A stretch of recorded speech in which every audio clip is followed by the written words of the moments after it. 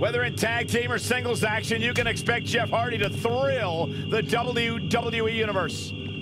And then there's Otis, who ate paint chips as a kid.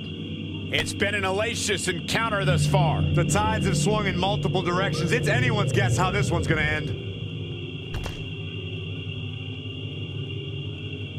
Producing a trampling. Kick to the gut.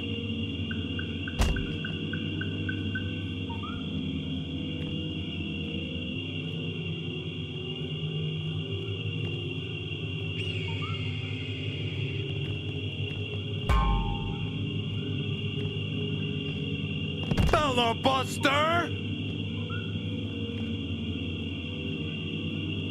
Jeff Hardy is a competitor who's willing to put it all on the line for the win. How do you counter an opponent with that single-minded drive? One of the downsides of relying on aerial offense is the setup leaves you open to attack. I say you let Hardy go for those daredevil maneuvers and then make him pay for it when he's at his most vulnerable. We've certainly seen Jeff crash and burn in the past, but that's never stopped him from taking risks again.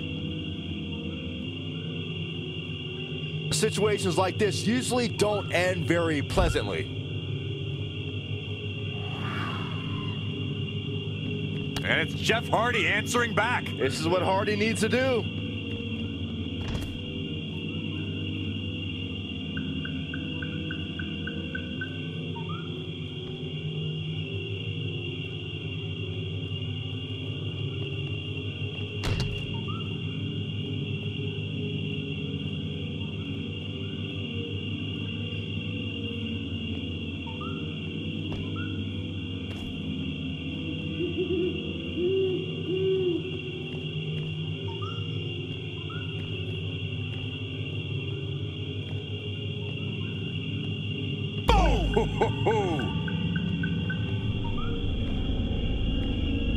Oh, nasty impact.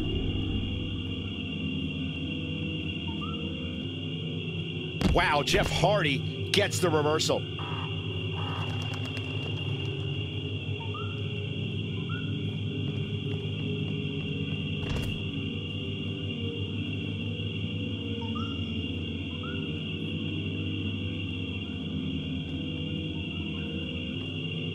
Up and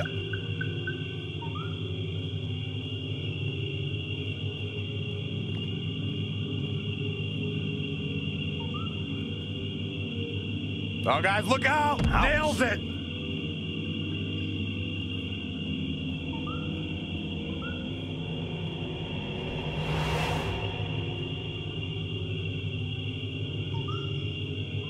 Check out Jeff Hardy. DDT!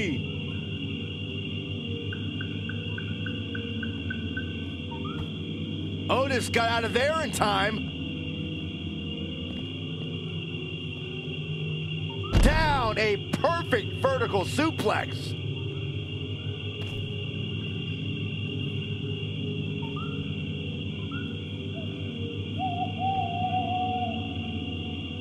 Big back body drop.